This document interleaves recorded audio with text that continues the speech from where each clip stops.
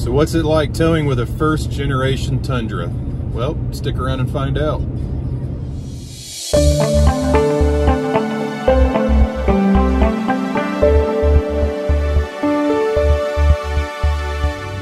Hey everybody, welcome back to HaulinVols Adventures. Um, today we're going to talk towing with the Tundra. I'm uh, on my way down to Harrison Bay State Park Campground for some camping with the family this weekend. So I am pulling our 2019 Forest River Wildwood FSX 179DB, um, which is a bunkhouse style trailer. Its uh, overall length's 22 and a half feet. The box is about 18 feet. Um, typical setup, uh, queen in the front, dinette that turns into a bed, and then it's got two oversized bunks in the back. So, good sized trailer. I'll put the the details and specifications down in the comments uh, or in the, the description. Um, but roughly, I think dry weight's around 3,200 pounds, but but loaded. So you know, with all of our gear in it, going on a camping trip, it's it's over 4,000, um, and, and probably then some. So when you're you know, I guess the first tip when you're when you're looking at something to tow is not what the base curb weight is. What's the weight of this thing going to be when it's actually being pulled down the road? So luggage, gear, food, utensils, chairs, like all the stuff that you're going to bring with you and load into that trailer, what's it really going to weigh?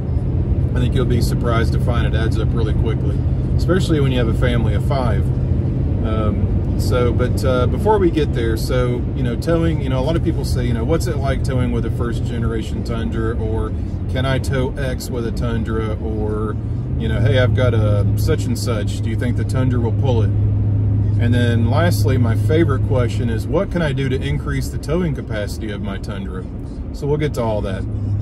So since I've owned this truck, I've towed a few different things. I've got a 15 and a half foot flat skiff um, that I tow all over the place. It's it's my fishing boat, so I use it on the lakes and rivers and streams and everything around where I live. I tow it down to Florida to fish on the flats, uh, the place that our family has down in Perdido Key.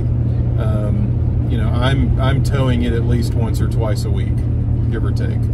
Um, the other thing I've towed with it is I we used to have a pop-up camper, so it was a it was a 10 foot box. It was about 13 feet overall length. It was a good sized pop up. You know, had a king on one side, queen on the other, a dinette and a, a bench and a dinette, both that converted to twin beds. So it was, it was pretty good size, but it was around 2,000 pounds loaded, um, you know, give or take. And then uh, years ago when my father still owned this truck, I actually towed a couple of my boats when my truck was in the shop.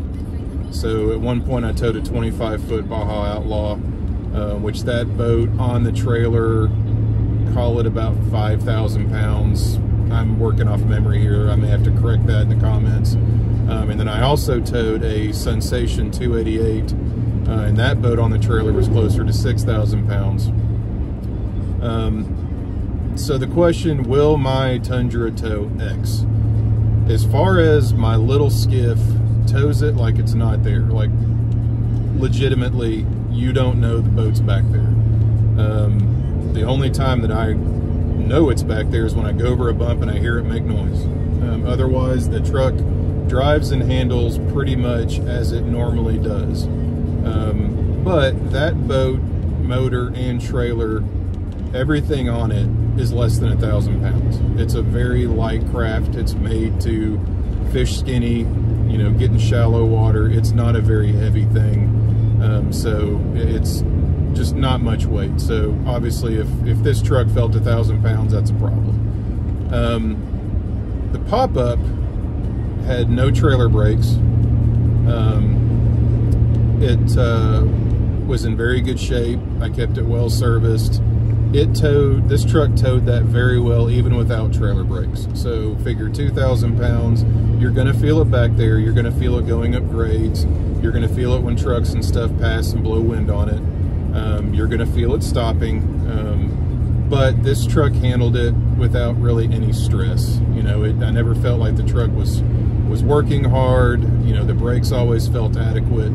Um, if I had my druthers, if I could go back in time, I would probably have had a pop-up with trailer brakes. Personally, I feel more comfortable when you're towing over 2,000, you know, 2,000 pounds and up. I just, I like having that security of a trailer brake system. Um, but again, it wasn't a be-all, end-all. In fact, I, I pulled that pop-up with my old Jeep Wrangler Rubicon. So that tells you anything, it's, it's well, well within the realms of what this can tow. So let's talk about the Wildwood. So this is a obviously high profile, bigger camper, heavier camper, talking 4,000 pounds um, loaded. It does have trailer brakes.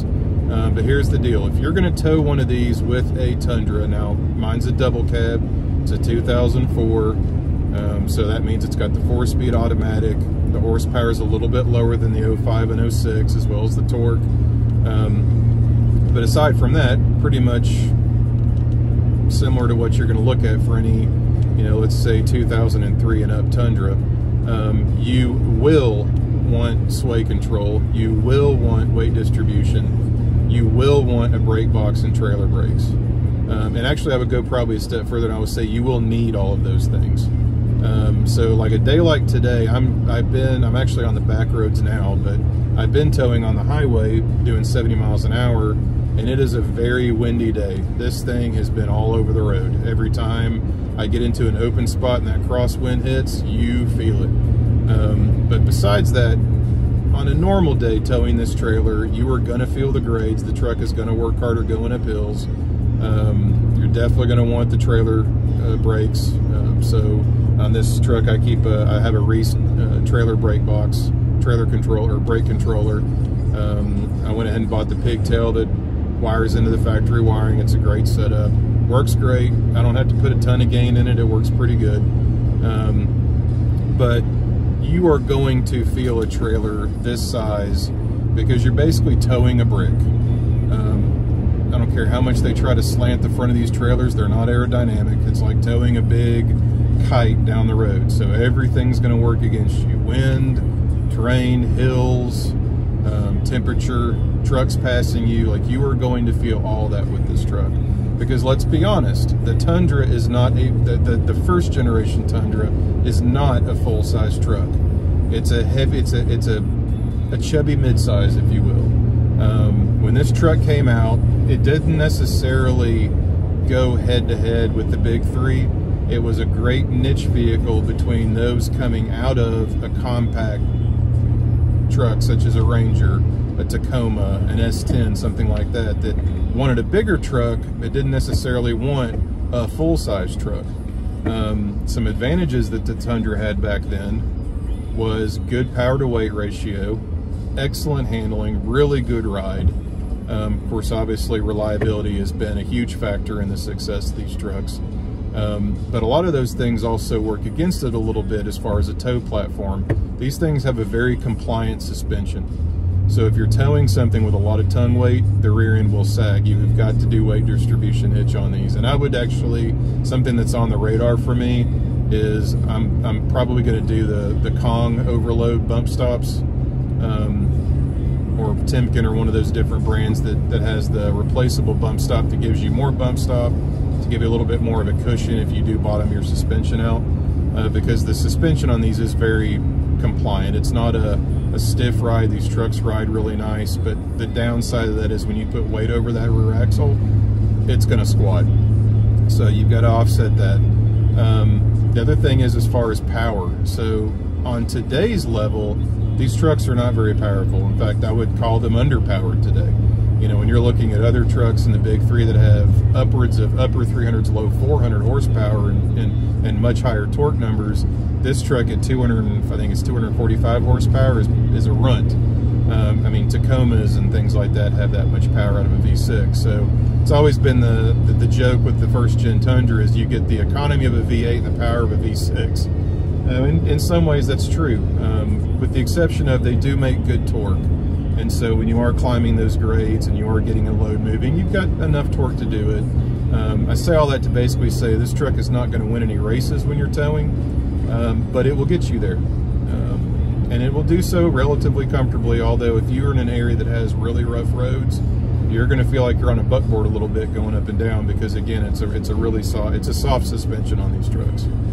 Um, now, as far as boat trailers, um, if you've got a smaller boat, let's say something in the 16 to 18 foot range, and a lot of those trailers either didn't have brakes or they have surge brakes, um, you're going to be fine with those. I think the smaller boats, you're you're under that that that weight category that you don't necessarily have to have a braking system, although it would help. Um, and if you do have a trailer or boat that size and it's got the surge brakes, while they're not perfect, they do offer some additional secondary braking, which is nice.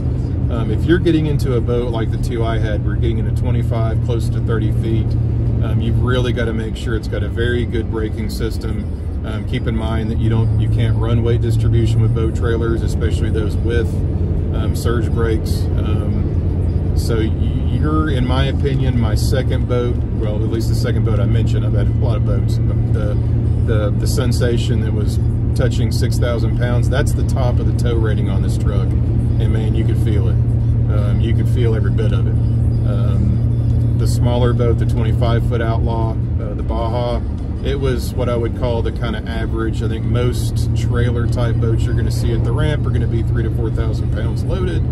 Um, and that was okay with this truck, but again, you're going to feel it. You know the weight's back there. Pulling the grades, it's going to slow you down. Um, you don't have the weight distribution, so the back's going to squat a little bit, especially if that boat's not fitted to the trailer right. And what I mean by that, if there's not good balance, so if it rides nose heavy and you've got a lot of tongue weight, or if it rides tail, he tail heavy and it's trying to pull your trailer up, um, sometimes you'll feel light in the rear end. Um, you really have to make sure the trailer's set up right and matches the boat and the weight set up accordingly. Um, so that brings me to my last topic and something that a lot of people mention, a lot of people ask questions about is how do I increase the, the, the trailer, the towing capacity of my truck? And the answer is you can't. I don't care what you do to a truck. You cannot increase the factory tow rating. That is a stamped in stone number that does not change no matter what you do to it. Airbags, well, I don't care what it is you do, you will not increase the towing capacity, the rating of that vehicle. All you can do with add-ons and accessories is increase the handling and the ability to tow safely. And so what that means is I don't care what you do to it to this truck, I cannot safely tow more than 6,000 pounds um, because even those devices don't really, all they are at best is a band-aid. You know, you're, you're covering up a deficiency in the vehicle you're using to tow with, whether it's, you know, if you're overloading it, you're, you're having an increased stopping distance, you have adverse handling characteristics. Like I said, just this truck today in this wind, and I'm well within my tow capacity, this thing's all over the road because it's in less than ideal conditions. You know, if I was on a completely flat road with no wind, no traffic, nobody to get in my way, and I wanted to hook to 10,000 pounds, sure, I could do it. Uh, I don't know how long the truck will last trying to pull that around all the time, but yeah, you can do it. That doesn't mean you should do it. And it's the same way with adding devices and accessories to a vehicle, such as airbags, overload springs, all those types of things that people think, oh, I've got this, I can tow more. No, you can't. You're still at a 6,000 pound tow limit with this truck. You're just allowing yourself to tow that weight more effectively, more comfortably, more, you know, even more safely. And you're giving yourself better handling characteristics when you get into situations that are outside the average. You know, like so today, it would be really nice almost if I had double sway control. I've just got one side. I know a lot of guys that run it on both sides, and it would be helpful today. Doesn't mean that increases my tow rating. It just helps me tow the trailer more comfortably. So think about all these things when you're buying, especially if you're in the market for a Tundra. If you're looking at a big trailer, something that's really tall, really long, really heavy, this isn't the truck for you you need to get into something that's a three quarter ton full size truck or even a one ton truck, depending on what it is you're towing. Um, but if you're looking at the run of the mill, smaller recreational RV camper, smaller boats, you know, smaller trailers, this is a great truck. I wouldn't hesitate to drive this truck across the country with my little boat. Probably wouldn't do it with my big camper. Um, I try to keep us in about a two to three hour radius just because I don't want to overwork this truck. It's my daily driver. I've got to depend on it. I don't want to work this thing too heavily because I need to be able to get it in any time and it's going to have no problems.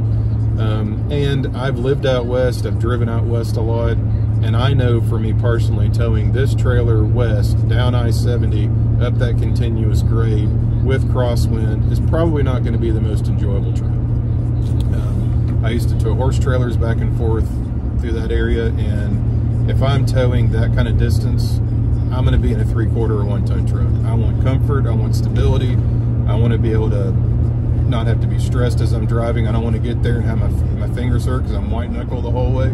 So this just wouldn't be the vehicle that I choose for a cross country trip. Um, personal preference. So I know I've seen and read a lot of guys that be like, I towed such and such 3,000 miles and no problems. Well, you probably didn't have a problem, but I guarantee you that it wasn't the most comfortable, most enjoyable trip you've ever taken either. Um, because each vehicle kind of has its purpose. And again, this is still a mid-sized truck. It's not a full-size vehicle. Um, and trust me, when you tow heavy, you're you're you're going to know it. You're, that's that fact is going to be very evident. Um, so let's talk about what I've done to this truck to this point. So I've got, uh, in other words, things that I've done to make this truck more enjoyable to tow with and more effective. So the first thing that I did, obviously, was weight distribution hitch and sway control. Um, it's an old chain style, but you know what? It works. It does the trick. At some point, I would like to up, you know, update that that to one of the newer torsion designs where you don't have the chains. Uh, but you know what? That's that. You know, that's six, seven hundred bucks. I don't need to spend right now when what I've got does the trick. Um, the next thing I did, obviously, I needed. You will want tow mirrors with this vehicle if you're going to tow something like an RV, like an like a camper or a, trail, a travel trailer. Um, the the stock mirrors on a Tundra are adequate at best when you're just driving around town. They're horrible when you're towing because you can't see jack around you. So I bought a set of the slide-on um, mirrors from E-Trailer. Um, they're not the best looking things in the world. They kind of look goofy, if you ask me, but it was the best option out there for the money without trying to do something custom with a with a late model set of tow mirrors or something. But the nice thing about these is when I need them, I slide them on and hook them up, and when I don't, they sit in the camper. I don't have to drive around with them all the time on there. Um, I've also got a backup camera. Um, as you can see, the screen is huge. Um, I'm not sure I would get that big a screen again. Um, would probably get one a little bit smaller. Can't remember what the size of this thing is, but it's enormous. Um, positives and negatives, you know, I'm sure it has its benefits, but I could probably get away with something smaller. But it, the nice thing about it, it's not necessarily like I don't necessarily use it a lot when I'm driving down the highway, um, other than just making sure nobody's riding my rear. But the big advantage to it is when you're getting into a campground, backing around things and that sort of thing. It's it's it's worth its weight in gold, especially if you're like me. And a lot of times I'm driving to the camping, the campground. I'm going to set everything up, and then the family's going to come down later. So I'm doing a lot of this stuff solo. Um, what else? Uh, again, I did the, the Reese brake controller with the pigtail that hooks into the factory wiring, um, which is great. It's one of the nice things about these trucks is if you have the tow package, it's already got a pigtail in the kick panel that you can hook that wire to, and then it just plugs into the back of your your uh, brake box. You don't have to do any splicing or wiring. It's really simple. It's a plug and play, if you will. Um, and I've been really happy with that one. I mean, there's there's certainly much more expensive versions, and again, I'll put the description of what I use in the in the in the comments. But it uh, it works fine for me. I mean, um, what else? Uh, oh, tire pressure is huge. So make sure when you're towing with these vehicles, you've got your tire pressures correct. Uh, make sure your tire pressure in your trailer is correct. You don't have them overinflated or underinflated. It makes a difference. You can feel it if you've got underinflated tires, especially if you're not running load range E. I don't run load range E on this truck. Um, they're a much heavier tire. They will impact your fuel economy a little bit. Um, I'm not towing anything near what I would need to max out what a, what what the tires I have now, let alone having to get to a load range E. Um, so I I know a lot of guys that run E's on their trucks, but I don't personally see an advantage, um, assuming you make sure that your your uh, PSIs and your tires are right on the money.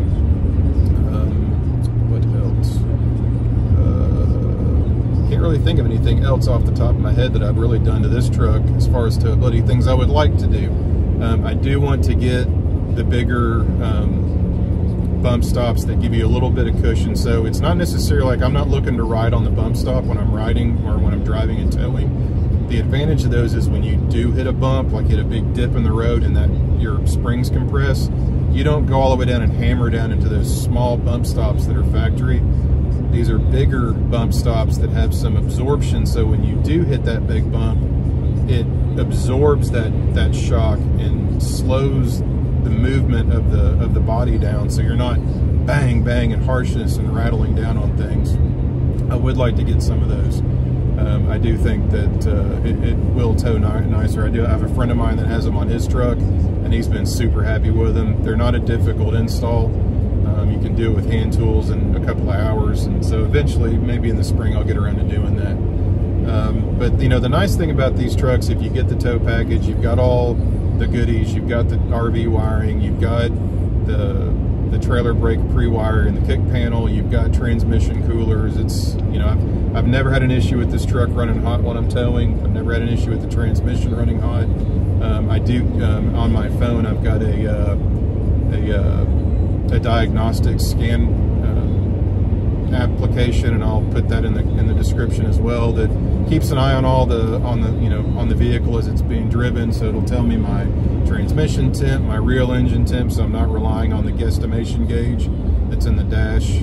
Tells me my current fuel economy, my overall economy, um, and then you can you can program a lot of different stuff to, for it to, to monitor. The only thing I've not been able to make work that I would like is a distance to empty. For some reason, it doesn't work with this truck, but everything else that I'm looking for kind of kind of factors in. So I, I, do have that running while I'm towing, so I can kind of keep an eye on the on the uh, the engine, how it's how it's working.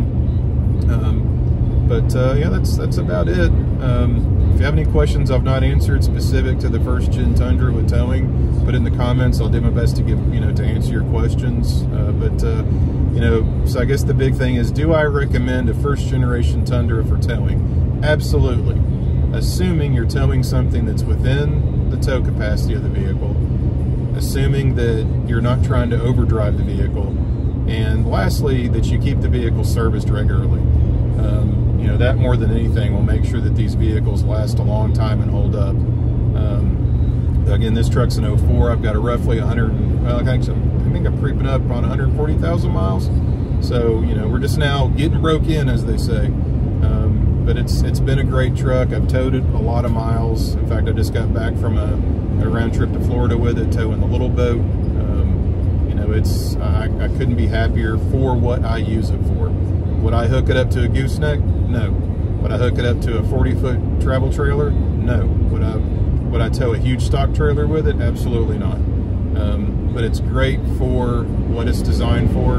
And I will I would honestly say with a 6,000 pound rating, I wouldn't tow 6,000 pounds with it again. I'm comfortable with around 4,000 pound travel trailer. I don't know that I would really tow much more with it. I think there's better platforms if your intent is to have a vehicle that you're going to tow with.